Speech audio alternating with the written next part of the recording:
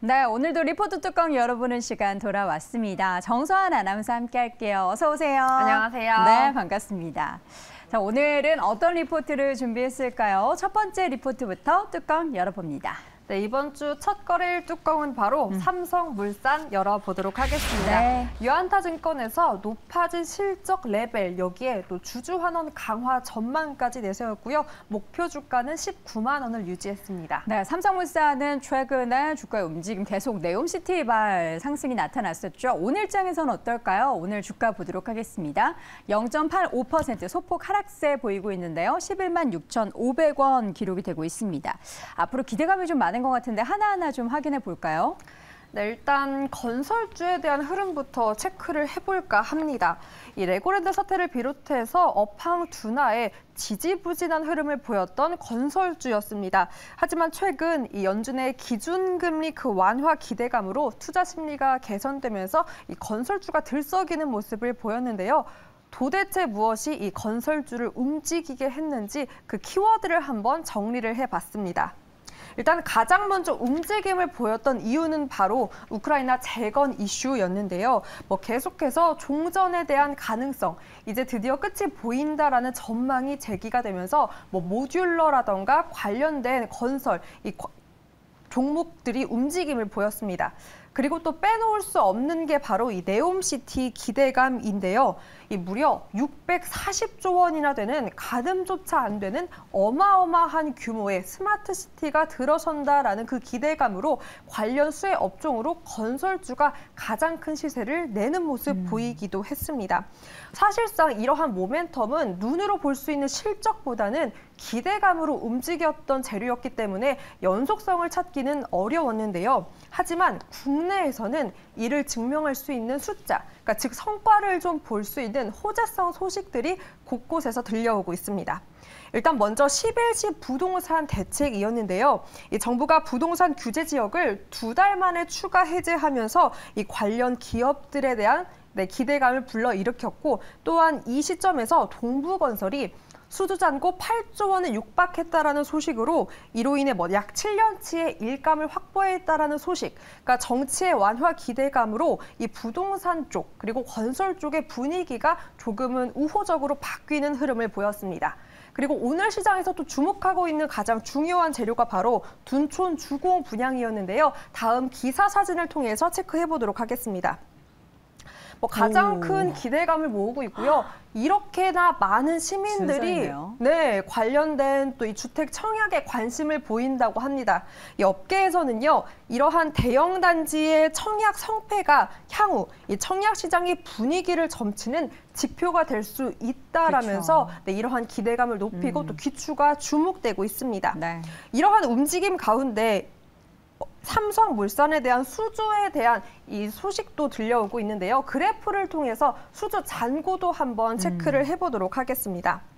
일단 유한타증권에서는 삼성물산의 신규 수주 증가에 대해서 실적 개선이 이루어질 것이다라고 전망을 했습니다. 왼쪽이 신규 수주고요. 오른쪽이 수주 잔고인데 잔고도 높아지고 있고 신규 수주에 대한 추이도 계속해서 증가하고 있는 모습이 확인되고 있습니다. 무엇보다 삼성물산은 앞서 짚었던 대로 이 건설 섹터를 견인했던 사우디 네옴시티에 대한 수주 기대감도 큽니다. 이 사우디 국부펀드와 모듈러 그리고 그린 수소 분야에서 MOU 체결 소식도 알렸기 때문에 향후 실적에 대한 기대감을 높이고 있습니다. 네, 첫 번째 투자 포인트 쭉 봤는데 사실 이번에 둔촌 주공의 분양이 잘 돼야 그러니까 미달이 나지 않아야 전체적인 심리 자체가 얼어붙지 않을 거라는 그러한 시장의 분석이 나오고 있습니다. 제 지인들도 여기 가서 줄 서서 많이 어. 봤다고 해요. 과연 이제 내 집 마련을 할지 그렇지 못할지는 알 수 없지만 관련한 시장 건설 업계에 대한 훈풍이 불어올 만한 이슈이기 때문에 이 성패 잘 지켜봐야 될 것 같고요. 삼성물산의 주가의 레벨업을 끌어올리는 또 다른 투자 포인트 이어서 확인해 볼까요? 네, 계속해서 체크를 해볼 텐데요. 전망 그래프와 함께 보도록 하겠습니다. 앞서 반영했던 포인트들을 통해 21년 대비 전 사업 영역에서 성장을 보이면서 네, 이렇게 역대 최대 연간 실적을 기록할 것이다라고 전망을 했는데요. 도대체 어떤 포인트가 이러한 실적을 전망할 수 있는지 다시 돌아가서 정리를 해보도록 하겠습니다. 일단 보고서에서는요, 첫 번째 이유로 이 삼성 바이오로직스의 공장 가동률이 높아지고 있고 또한 사 공장 가동도 본격화되기 때문이다라고 첫 번째 이유를 꼽았습니다.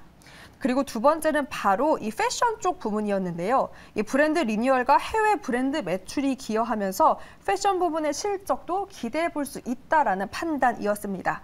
그리고 보고서 제목에서 이미 확인할 수 있었던 것처럼 이 주주 환원의 강화 정책도 기대가 된다면서 이렇게 세 가지를 가장 큰 투자 포인트로 제시했습니다. 네, 삼성물산 투자 포인트 쭉 확인을 해봤습니다. 그동안의 주가의 움직임을 볼 텐데요. 작년부터 삼성물산의 주가는 좀 깊은 박스권에 좀 주가의 움직임이 있었습니다. 10만 원대에서 12만 원대까지 올랐다 내렸다를 계속해서 반복하는 움직임들이 보였고요. 최근에는 박스권 하단을 조금 깨는 움직임도 보였지만 이내 네옴시티 발의 주가의 상승이 이렇게 영향을 미쳤습니다.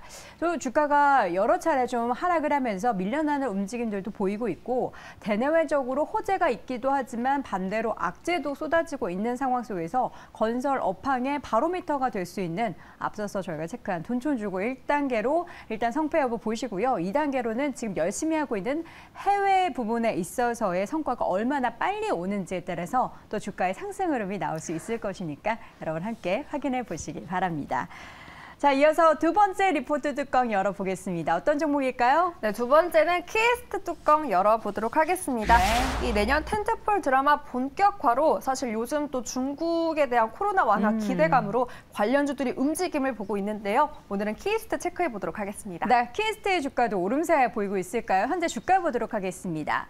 현재 구간 0.7% 소폭 하락 구간 보이고 있습니다. 8,560원인데요. 근데 이 종목 최근에 많이 올랐습니다. 투자 포인트 뭐부터 볼까요? 볼까요? 네, 일단 투자 포인트가 빼놓을 수 없는 게 바로 중국 그 코로나 방역 완화 기대감이었고요. 음. OTT 이 한한령 해제에 대한 기대감이 계속해서 주가 상승의 동력이 되어 주었습니다. 뭐 관련된 콘텐츠, 엔터주에 대한 보고서가 계속해서 나오는데요. 오늘은 키이스트 체크해 보도록 하겠습니다.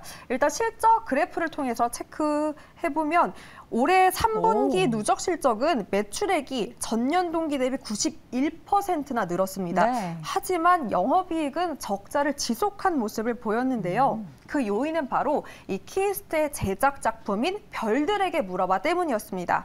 올해 2분기부터 이 별들에게 물어봐 매출이 본격적으로 반영은 되었지만 이로 인해서 제작 마진은 내년 방영 시점부터 반영이 될 예정이기 때문에 음. 이렇게 전체적으로 매출은 증가했지만 수익성 개선은 이루어지지 않았는데요. 그럼 도대체 이렇게 매출에 큰 영향을 준 별들에게 물어봐는 어떤 작품인지 사진을 보도록 하겠습니다. 네. 주연으로는 이민호 배우님이 있고요. 공효진 배우님이 오. 함께 있습니다. 아, 네, 또 앵커님을 위해서 공유 사진으로 함께 볼까요? 공유 사진도 주연으로 공유 씨도 준비가... 나와요? 네, 아, 아 공유가 아닌 아, 이민호 씨입니다. 네, 이민호 예. 배우가 이렇게 주연으로 나오는데요. 뭐 잘생긴 사람 그렇게 좋아하지 않아요. 어, 네, 네. 그렇죠. 치고요. 네, 총 제작비가 무려 400억 원 이상이 투입이 되었다고 네. 합니다. 그림에서 알 수 있다시피 우주 관광객 그리고 우주인 등을 배경으로 한 우주 정거장 로맨틱 코미디라고 하고요. 또한 기대감을 불러일으키는 게 음, 공효진 배우님의 주연이기도 했었죠. 음. 질투의 화신. 그리고 드라마 파스타를 집필했었던 작가님의 작품이기 때문에 오. 어. 그 기대감을 더하고 있습니다. 네.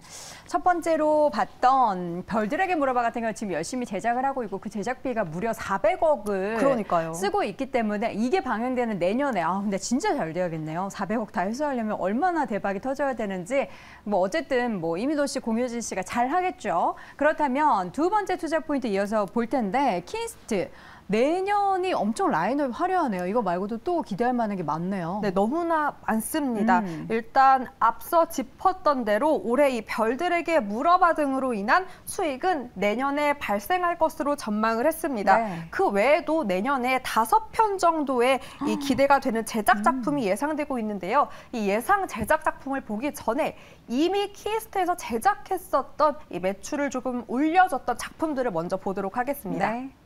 너무나 많더라고요. 보이스도 있었고 음. 일단 밥 잘 사주는 예쁜 누나. 여도은. 어, 네. 그렇죠. 언니, 밥 좀 네. 사주세요. 네, 이 네. 예쁜 누나로 또 히트를 냈었고, 음. 하이에나, 그리고 보건교사 안은영, 네. 그 외에도 라이브 온이라던가 뭐 보이스 시리즈물을 음. 계속해서 제작하면서 매출과 실적에 기여를 했습니다. 네. 때문에 향후 대표 기대작들, 이 파이프라인을 기대해 볼 수밖에 없는데요. 음. 다시 한번 포인트로 돌아보도록 하겠습니다. 네. 보고서에서는 두 작품을 가장 큰 기대작으로 꼽았습니다. 음. 그 예고편을 제가 잠깐 간략하게 해드리면 넷플릭스에서 인기리에 방영되었었던 이 보건교사 그 아는영 아는영. 그 작가님의 시리즈물로 일루네이션이라는 작품이 방영될 예정이라고 음. 하는데요. 무엇보다 K-팝 세계에 대한 이야기를 담았기 때문에 음. 글로벌적으로도 인기를 받을 수 있다라고 기대를 불러일으키고 그러네요. 무엇보다 사람들이 궁금해하는 게 그 뒤에 뒷얘기. 이야기 잖아요. 그 무대 뒤에 은밀한 이야기를 아. 드라마를 통해서 풀어낸다고 합니다. 네. 네, 그리고 두 번째 작품 바로 비 밀은 없어인데요. 개인적으로 저는 이 작품이 너무나 기대가 오, 되더라고요. 저도요. 네, 통제된 완벽만이 전부였던 한 아나운서가 음. 사고를 당하면서 이제 거짓말을 할 수가 없어집니다. 아.